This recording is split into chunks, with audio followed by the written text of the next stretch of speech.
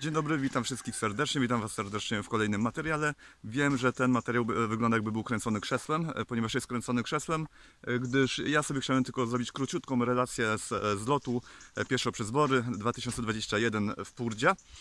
To jest niedaleko Olsztyna, tutaj na Mazurach. I w związku z tym ja sobie tą sytuację chciałem przeżyć na żywo, więc nie bawiłem się w robienie filmu. Tym bardziej, że jak najbardziej atmosfera bardziej sprzyja do e, klasycznej integracji niż e, latanie z kamerą, więc ograniczyłem się do zrobienia kilku e, przebitek, troszkę materiału z tego, jak to wyglądało na miejscu, żebym ja miał pamiątkę, a zobaczyli, jak wspólna idea pod postacią e, pieszo przez bory e, potrafi zgromadzić całkiem, całkiem, całkiem dużą ilość ludzi, którzy się całkowicie nie znając, e, idą ewidentnie w jedną stronę, więc atmosfera jest kapitalna, e, niesamowity event i w dodatku jeszcze komuś można pomóc. Thank you.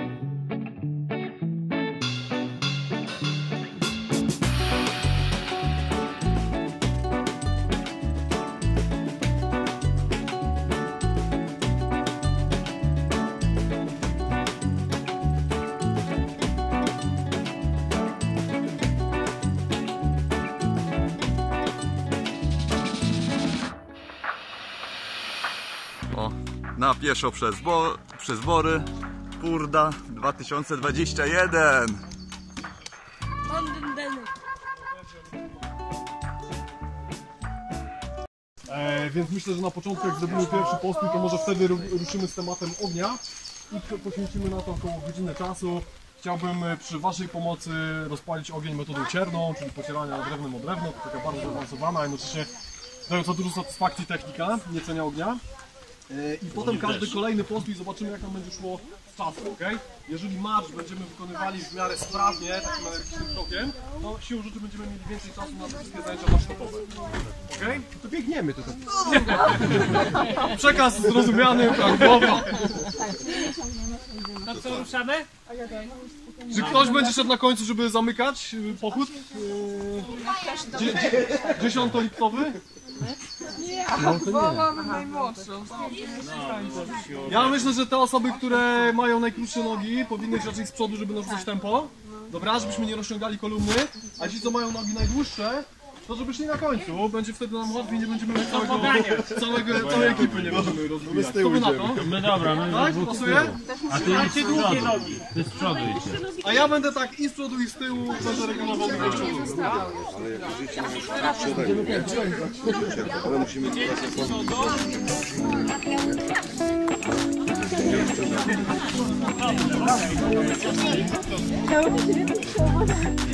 w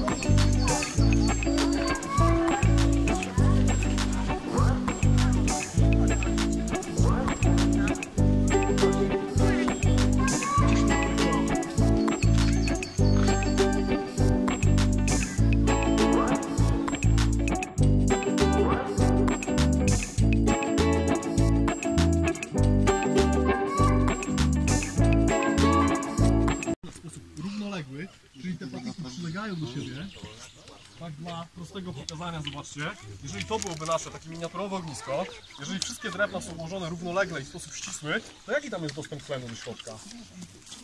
Jest nieduży, jest żaden, tak? Czyli to spalanie byłoby bardzo powolne. Tak samo jak w kominku, jak mamy szyber dostęp tlenu, prawda? Jeżeli jest zamknięty, to jest spalanie bardzo wolne.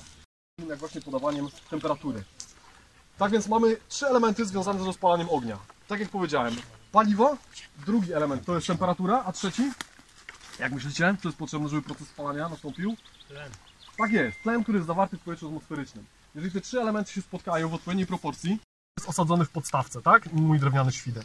Ważne jest tylko, aby złapać na początku równy rytm i to jest praca bardzo trudna o tyle, że wymaga sporej kondycji, równego oddechu, nie można się przy tym zaziapać i bardzo często krople potu, które spływają z nosa, najgorzej jeżeli spadną w nasze świeżo co usypaną kubkę z żarzącym się tym proszkiem drzewnym, no to wtedy jest porażka, więc musimy na to wszystko zwrócić uwagę. Pokażę Wam teraz jak wygląda ta praca.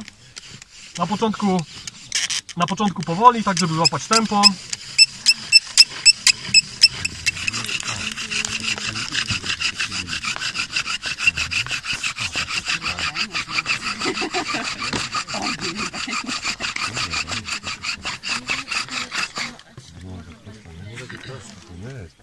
Teraz zobaczcie, duża ilość pracy, bardzo szybki ruch i zobaczcie, w momencie, w którym przestałem, ten dym od razu zanika, tak?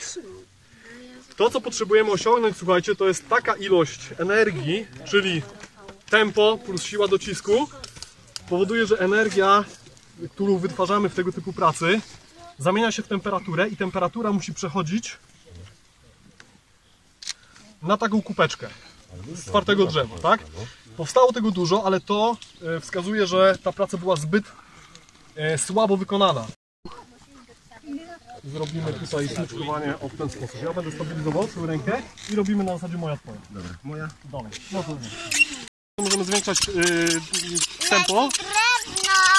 Niżej, niżej cięciwa nam... Nie jechała chyba, nie? Tak, musi... Okej, dobra. Teraz jeszcze musimy... Super. Już mamy płomień, słuchajcie. Jeszcze można mocniej dmuchać. Wysuszony mech, ludzie! Wysuszony mech! Dawaj, dawaj, teraz już mocne dmuchanie. Mocno dmuchaj. Tak jest. Dobra, dobra, dobra. Dawaj mocno, mocno teraz. Mocno dmuchaj. Super. Jeszcze mocniej, tak jest. Tak jest. Super, brawo, mamy to. Jak jest płomień, już nie dmuchamy. Ekstra. Nawigacji jest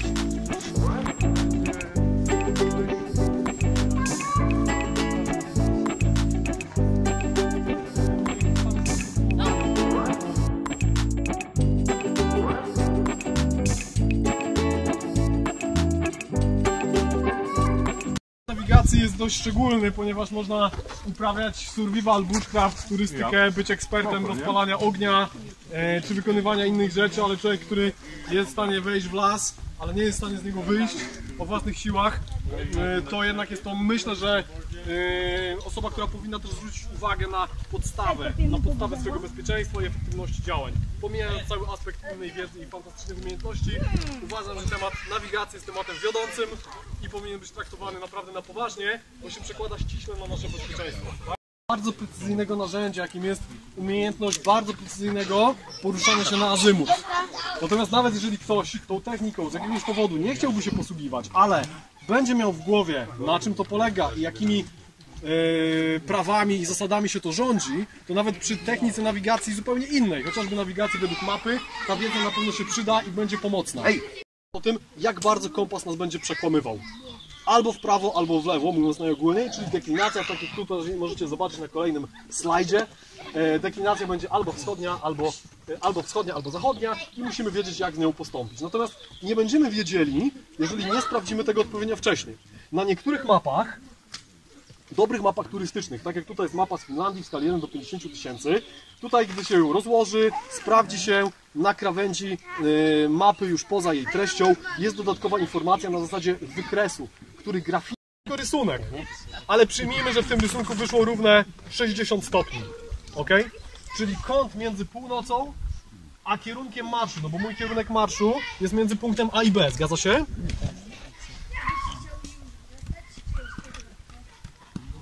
To jest mój kierunek marszu. A to jest kierunek północy. I dzięki czerwonym kreseczkom w kompasie i tym liniom na, ma na mapie mogę określić, że ten kąt to jest 60 stopni. Nic innego, czysta geometria. Bez możliwości stosowania plastiku i dla zachowania realnego bezpieczeństwa mieliśmy taką mapę wydrukowaną na, e, właśnie na tkaninie. Tu są różnego rodzaju informacje na temat mapy, na temat wyprawy, nawet numery alarmowe do konsulatu, do ambasady. Gdyby tam faktycznie jakaś tragedia się miała z nami zadziać, to żebyśmy mieli przynajmniej jeszcze na mapie takie, taką szansę tutaj znaleźć takie informacje. Jest też nasze logo firmowe, czyli Universal Survival. No i najważniejsza rzecz, czyli skala mapy, tak? Pamiętacie też z, może ze szkoły, jak pani na geografii tłumaczyła, że jak zakryjesz ostatnie dwa zera w skali mapy, to co? To będziesz wiedział, ile to jest metrów. Ale to tak nie do końca precyzyjnie jest powiedziane. Ja zawsze, jak byłem w szkole uczniem, nie byłem w stanie tego skumać. Dopiero po latach, jak się zająłem